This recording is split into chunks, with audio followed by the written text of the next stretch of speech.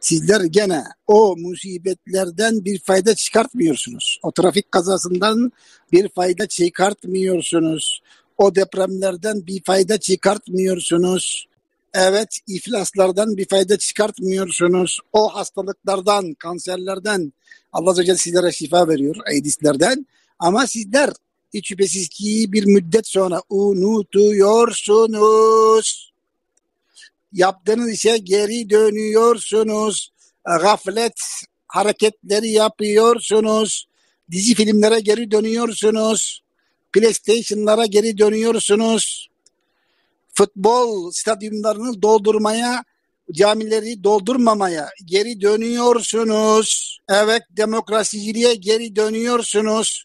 Türbeciliğe geri dönüyorsunuz. Sigara, içkiye ve esrara geri dönüyorsunuz.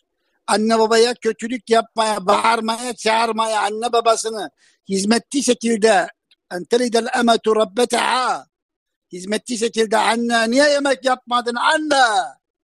Nasıl yapmadın benim elbiselerimi ütülemedin? Beni, bana nasıl yani benim vaktim yok şu anda PlayStation oynamam lazım. Ee, nasıl benim yemeğimi hazırlamadın? Bu yemek güzel değil. Bunu çok tuzlu yapmışsın. Terbiyesiz anne diyen oğlanlara yazık olsun. Çünkü siz bunlar diyorsunuz. Çünkü neden diyorsunuz? Sizleri yetiştiren İslam değil, sizleri yetiştiren internet, Google, Twitter, Twitter, Facebook bunlar gibi olaylardan yetiştiğiniz takdirde annenize ve babanıza saygısızca konuşuyorsunuz. İslam sizi, sizler Resulullah Aleyhisselam'ın, sizler sahabilerin okullarında yetişseydiniz, onların okullarından çıksaydınız, onların üniversitelerinden çıksaydınız hiç şüphesiz ki bu şekilde konuşmazdınız.